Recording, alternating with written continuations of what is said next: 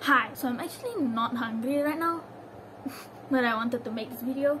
So I got some mango like the previous video. So in this video, I mean, you can get your food and we can eat together. I'm eating mango, but you can eat anything. And let's just talk. I'm actually not hungry, but I want to eat mango. So let's go. Good. so the topic of today's video is defending what you believe, knowing what you believe, and knowing how to defend what you believe. Let's turn back the time. This happened, I think, five years ago. So I was 13 years old. So just for a little bit of background, my dad is not a Christian. He is a Sikh. He his his religion is Sikhism. And basically, sometimes we like to talk about religion. I mean, he likes to talk about religion, and then yeah. So basically, one day I don't know how this suddenly came about. I don't know how we start suddenly started talking about Jesus and stuff. But he said we started talking about it. He started talking about it, I guess. I don't know. And then I asked him because here's the thing about Sikhism. If you guys don't know, Sikhism is a religion that believes that every religion can lead to God. So if you're Christian, Muslim, whatever it is, as long I guess it's like as long as you want to find God every all of these ways religions are ways to find god. And you can find god through every religion. That's why sikhism actually they respect every religion. And actually you can go inside the gurdwara. The the sikh temple is called a gurdwara. And anyone can go in. So i've been in there also even though i'm a christian. And uh, muslim anyone can go in. They they believe like that. So that's what they believe. Every religion can lead to god. So me 13 years old i asked my dad. But then why did jesus say that he is the way the truth and the life which by the way is a very good question. I don't know how I thought of that but okay. So I asked my dad and he told me this. He said that's a good question. Maybe he only meant that for the Israelites. So at that time I never used to read the Bible. I didn't know anything about the gospel. And I mean I was a Christian but I didn't used to read the Bible and so I believe him. I didn't know how to answer basically. You know when you don't know how to answer a question, so you're just like, ah, that makes sense. But then, I mean, in that verse, Jesus was answering his disciples. He wasn't even talking to the Israelites, right? But basically, at that time, I didn't know. Okay, so I just knew the verse, but I didn't know the whole chapter, the story, or whatever, right? And I couldn't answer my dad. I just thought he was right because I myself didn't know anything about the gospel. That's what we're talking about today. Knowing how to defend your faith. Because at that time I didn't know, but actually in the Bible it says that you are supposed to defend your faith. First Peter chapter 3 verse 15. But in your heart set apart Christ as Lord. Always be prepared to give an answer to everyone who asks you to give the reason for the hope that you have. So it continues from there. You can read the whole thing, but basically that's that's you know you have to be prepared to give a reason because people are gonna ask you, right? People are gonna ask you stuff. Why you believe in this? And you have to be prepared to give a reason because if you can't give a reason, it's just it's just like you don't know why you believe, and that's what exactly happened to me. Because I myself never used to read the Bible last time, as I do now. Now I do, but last time I didn't, and I didn't know how to answer, you know. And to be honest, most of my life, I never really understood the gospel. I only got it this year. Can you believe it? I only got it this year at 18 years old, and I've been a Christian for how many years? And going to church for how many years? I actually only understood the gospel this year like I kinda understood it last time, but you don't understand, you know. And then now I fully, fully understand why Jesus is the only way to heaven, why he was the sacrifice, why God sent him, and all of that stuff. Basically, you know, the gospel. I finally understand it, and that's the thing. When you yet when you yourself don't understand it, then you don't know how to answer. You know, because people are gonna ask you stuff. Why? Why is Jesus way? Why? You know. Why, why is it only through him that we can be saved? Why only through him we can be forgiven? People are gonna ask you that because, to be honest, as an outsider, looking at this looking at this and like it doesn't really make sense right? What god sent his son and only through him i can go to heaven you know? So like of course they're gonna ask stuff. You're gonna wonder right? And they're gonna ask you because you are the christian you are the believer. Like why do you believe in this? And you have to be prepared to give an answer. You have to be prepared to tell you know to say why you believe. And i think we should all like prepare that reason. I I think first of all we should be prepared to explain the gospel. And not only that not only must you be able to explain the gospel not only must we be able to explain the gospel, but we should also be able to give a reason why we believe. Like, of course, yes, you know, Jesus died for us and You get and and you know because we all don't deserve to go to heaven, and it's by grace we have been saved, and through Jesus you can be forgiven. You can explain explain all of that, but then people are gonna ask you, okay, okay, I get it. So why do you believe in it? So I think we should all have a reason. We we all. I'm sure you have a reason why you believe what you believe. Even I haven't really thought about it yet I should hurry up and think about it because people can ask you anytime. You know, people can ask you, why are you a Christian? You have no answer? How? How? How? How? Do, you know, then people don't get it and people don't get to hear the gospel just because you couldn't tell them. You know, we are the ones supposed to tell people. If not, people don't know, right? And people can't be safe. So we are supposed to tell them.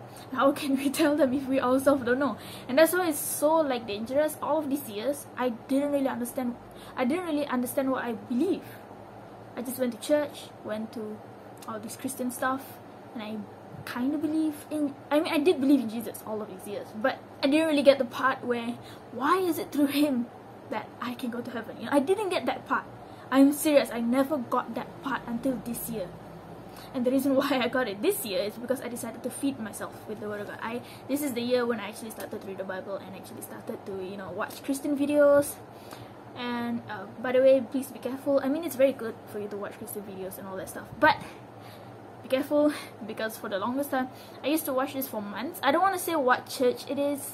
I don't want to say it, but it's like one of those mega churches, and they have uh, YouTube channel and I used to watch the sermons by them and for the longest time I didn't know that it was the prosperity gospel so just be careful you know just make sure it's good to watch Christian videos and all of that and Christian shows or, or movies or whatever but uh, you know some there are so many false teachings out there so I think it's better for us to feed ourselves first and also like when you watch those videos or whatever check back you know check with this the Bible because you never know. And also what's dangerous is I also used to promote that channel, that church prosperity gospel channel that I was watching, I used to promote it to my friend. You know, so the thing is we should also like check, you know, so that we don't accidentally spread that false message to other people as well. I was asking my friend to watch it too because I thought it was good.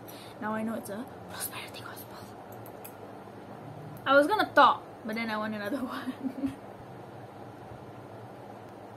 So I know that I probably wasn't the only one who didn't understand my faith for the longest time. I know maybe some of you, maybe you're Christian watching this and you yourself don't really know what you believe.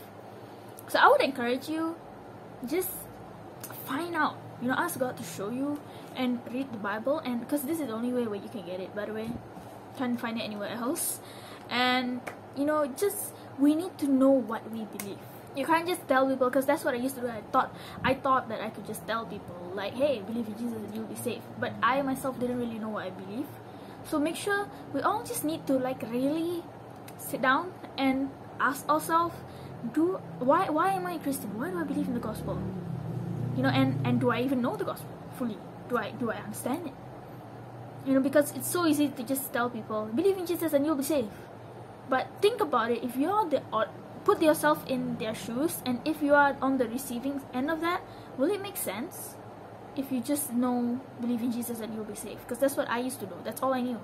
I, I believe i'm gonna go to heaven because of jesus right? Because of his sacrifice for me. But it doesn't really make sense to be uh, imagine yourself on the receiving end of that. What? Believe in jesus and i'll be safe that doesn't make any sense it doesn't it doesn't make any sense to anyone who's never heard the gospel before maybe it makes sense to you because you know you you went you go to church and all of that but to someone who's never heard the gospel before, do you, do you really think they're gonna get it? They're not gonna get it, you know? And sometimes it takes a few tries also to get it. Like I said, it took me, I mean, it's been all these years I never really got it, and only now I got it. And I've been a Christian this whole time. Imagine the people who are not Christians, you know, it's gonna take them a few times to get it. It's so easy to just say, believe in Jesus and you'll be safe, come and be a Christian. But if you put yourself lah on the receiving end of that, would you really get it? You wouldn't. You know, we need to explain the gospel. We need to explain why we need Jesus and that's something that I had to learn and that's something that I only found this year, like why we actually need Jesus and it's mind blowing. I might make a video about that on how I would explain to people because we need to explain it, you know, directly from this and we need to really really explain it and and the thing is we also need to know the gospel really well because people are to ask questions people are to poke holes in your story and they're to see the inconsistencies or whatever if you don't if you don't know things but at the same time i don't want anyone to feel pressured. I don't think we should feel pressured to know everything because we learn everything. I mean the more we read the bible the more we know right? How many times did i take the bible in this video? The more i read this the more i know. And I'm, I'm learning new things every day when I do my Bible study. And I think it's okay as a Christian to to admit sometimes that there are things that you don't know. Like if people ask you about topics that you don't really understand yet and you haven't really read into the Bible yet I think it's okay to say I don't really know anything about that yet but I'll read into it you know I'll pray about it and I'll you know I'll I'll learn about it you know don't think don't think that as a Christian you need to know every single thing it's good if you read the whole Bible and you know how to answer every question. But you know, as someone who's still growing and you don't know anything, everything yet, I think it's okay to say we don't know because that also shows that you know we also we're, we're still learning. You know, and as a Christian, that doesn't mean we we necessarily know every single thing. There are still topics in the Bible that I still don't know. You know there's still topics that i don't know how to answer. If someone would ask me like stuff about modesty i'm not really sure. You know stuff about i don't know slavery. You know i still have to read into that. I'm understanding a little bit more about what the bible says about slavery but you know i haven't really fully understood it yet. So i think it's okay sometimes to say i don't really know yet but i'll read into it. You know don't just leave it there though. Okay don't just say i don't know and then no. Say i don't know but I'll go read into it and you go and find out for yourself and you also learn stuff from that. Like wow that's what the bible says you know? So i think but but for the most part you know I just we should know what we believe. Know the gospel. At least know why jesus is the way why we can't go to heaven without jesus because that's what people are gonna wonder about our faith because that's like the, the, the centerpiece of our faith jesus going to heaven through him you know without jesus we can't be saved so people are definitely gonna wonder about that because i myself used to wonder about that but i never used to seek the answer until this year. Yes i used to ask i used to wonder like why is jesus the way to heaven? But i never really looked into the bible. And only this year i did and i was like oh oh okay. And you know all through all those videos and all of that you know you gotta feed yourself first before you feed other people and yeah like the bible says we always need to be prepared to defend our faith. Defend why we believe what we believe and not how to say? Don't give way. I don't know how to say it but you know we need to defend. Not in a bad way but in a good way in a nice way. Defend. Like for example i think last year me i have i had an online friend and she asked me why i don't support uh, lgbt and you know i said because of the you know the bible says it's wrong and i didn't back down in a nice way though. We had a nice conversation. It was really good. And it shows that you know if you if you are nice about it if you're not being mean please don't be mean. Christians please don't be mean. That's not what oh by the way right after that uh part where the, the part where i read to you just now the bible first right after that it says you know do so in a in a in a good way you know here verse 16 keeping a clear conscience so that those who speak maliciously against you good behavior in Christ may be ashamed of their slander. So you know we also need to be nice about it. Okay, don't be mean. Okay, don't don't be rude about it. Okay, that's not how you want people to perceive Christ. Okay? I want again so yeah me and my friend that christian she's a christian who actually supports lgbt we actually had a good conversation about it. So that really shows how you know you can actually have a conversation with with someone who doesn't agree with what the bible says. You can actually have a conversation but don't back down. I never once said that you know i support lgbt or i never once said that god wants you to be gay or whatever. I still stuck with it. I still stuck with what the bible says. I still stood by what the bible says but we had a good conversation. So yeah basically i guess that's what this video is about. I just remember that memory from five years ago about how i couldn't even answer my dad about that thing. And you know i've really grown now but i know there's a lot more to learn. Like there's so still so much about the bible that i don't know. And that's the beauty of it. I think that you know the bible is so deep. And i feel like even if you read the whole bible you're still gonna like read it again and find new things because it's just that deep. It's just you know it's, some things you know it's like so deep. The bible is just amazing. I don't think there's any other book like that. I mean i don't know. I haven't read every book in the world but this book makes me think. It's so amazing. So yeah. Basically what what message do i want you to get from this video is if you're a christian and you still don't really understand what you believe really pray about it and you know ask i mean ask your church you know ask your community to help you and you know pray about it and read actually read feed yourself with his word because that's the best way. You need to read it for yourself. Then you'll understand it right? And also always ha have a reason. I also have to do this. I have to prepare a reason why people ask me why I believe what I believe. And also prepare a reason why you believe and also be prepared to explain the gospel to someone. Because I think it goes together because the gospel is you know what the Bible says and the truth and all that. And then the reason is why you believe in it you know why? Why? And once I figure that out I might make a video. Of course I'll make a video on this channel. So yeah that's all I want you to get from this video. We need to feed ourselves really feed ourselves with the gospel because people are gonna ask us why we believe in this. So yeah that is it for this video. I hope you guys enjoyed. I hope it blessed you in any way. I feel blessed through this video. And also i got to eat some mango. So you know it's a win-win situation. If there's only one piece we eat it around. Now? Now the cat in me came out. Wow